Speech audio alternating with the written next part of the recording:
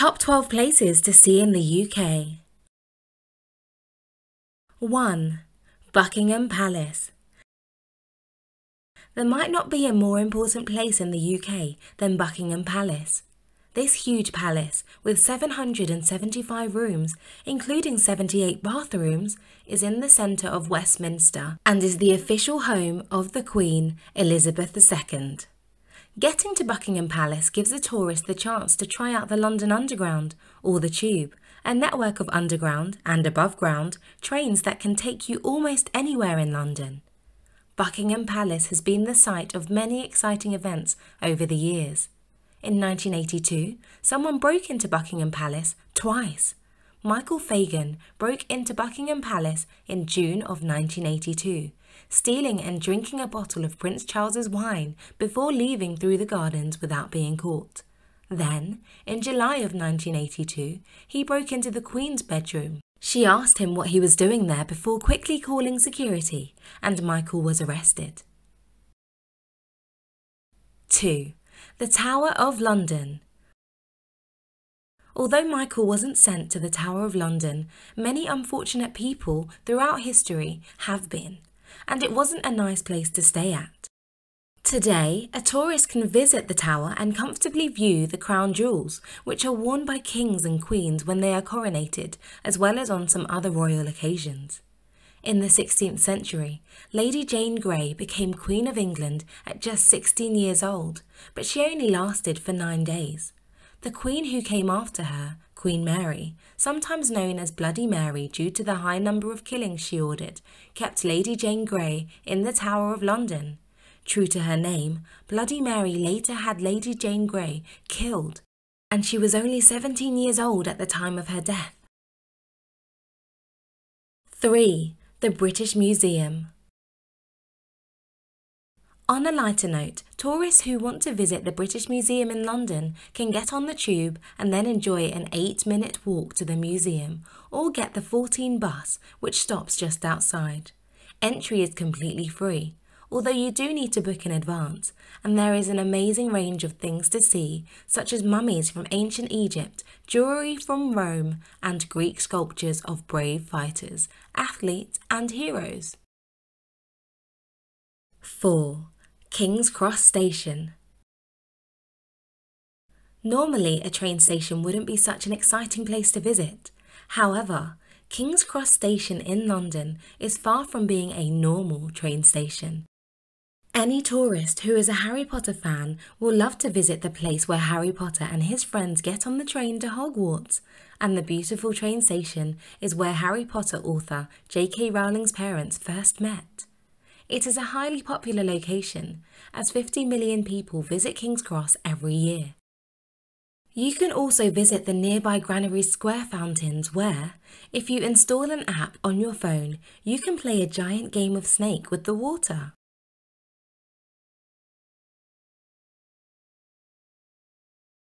Five, Jacobite Steam Train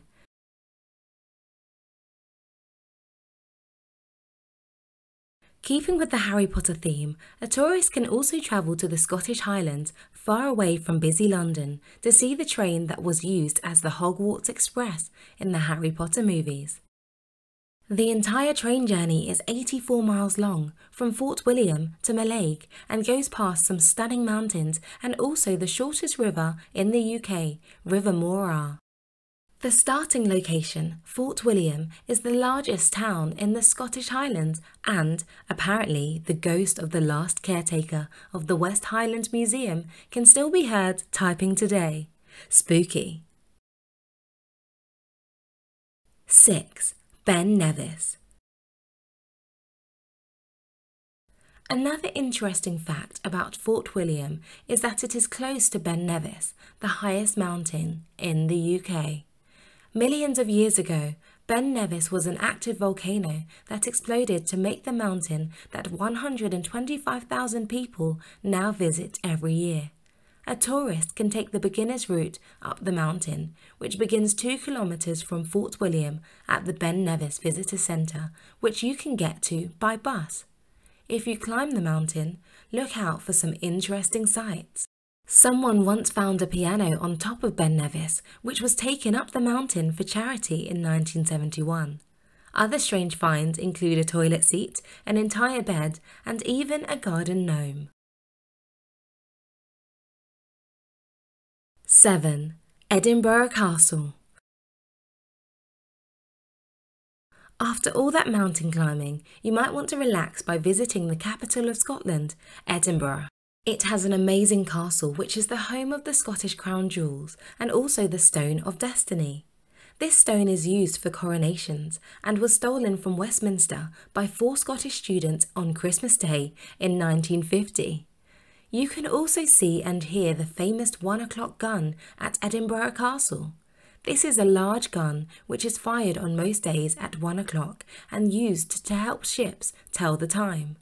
Also, if a tourist looks inside the Great Hall, they will find a lot of medieval weapons and armour, such as impressive battle axes and swords.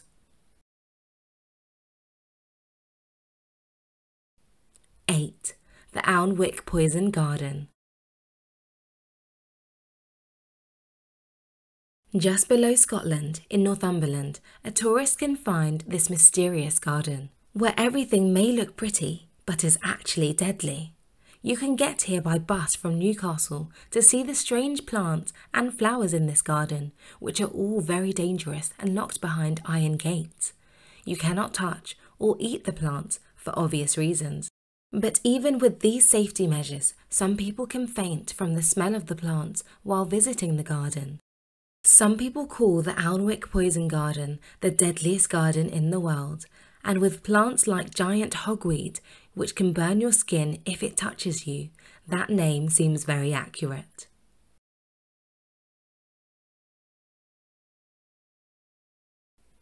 Nine, Stonehenge.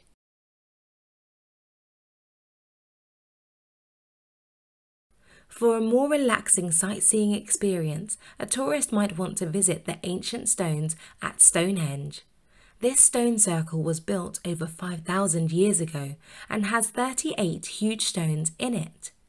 It is thought that Stonehenge took 1,000 years to finish and it may have been used as a calendar. A tourist can get a bus from Salisbury to the Stonehenge Visitor Centre and then enjoy a 30 minute walk to the stone circle itself. If you want to visit Stonehenge at a very special time, you could go there during the summer solstice or the longest day of the year on the 21st of June. 20,000 people visit Stonehenge on this day to watch the sunrise behind the stones, which is a beautiful sight to see. 10. The Roman Baths more history can be found at the Roman Baths in the suitably named city of Bath. It is the largest city in Somerset and also the place where someone discovered Uranus in 1781 through a telescope in his back garden. The Roman baths themselves are breathtaking ruins with an interactive museum as well, and audio guides are available in 12 different languages for tourists to learn about the Roman baths while they walk around. To visit the Roman baths, a tourist can get the train to Bath Spa and then take a 10 minute walk. There is a restaurant available at the baths which serves tasty afternoon tea which a tourist can enjoy during their visit. The Roman baths are so well preserved that the water still flows through them like it did when the Romans used them. 11. Blackpool Illuminations now we're going to something bright and exciting, the greatest free light show on Earth. The Blackpool illuminations are six miles of lit up decorations in Blackpool, which are turned on between September and January. You can drive through the illuminations, walk by them, or even take a ride on the illuminated train. The illuminations first started in 1879 as an experiment with street lighting, which the public called artificial sunshine. Although we are much more used to the idea of electricity now, these lights are still an amazing sight and can be experienced for free by any tourist who would like to visit Blackpool, a seaside town in Lancashire, which is in the northwest of the UK. 12. Chester Zoo Finally, a tourist might want to go to the most visited zoo in the UK, Chester Zoo. You can get to Chester by train and then take a bus to get to Chester Zoo, where over 20,000 animals are waiting for you. You'll be able to see lions, giraffes, rhinos, cheetahs, flamingos, jaguars, meerkats, and much, much more. Chester Zoo also does a lot of work to help animals in danger of dying out.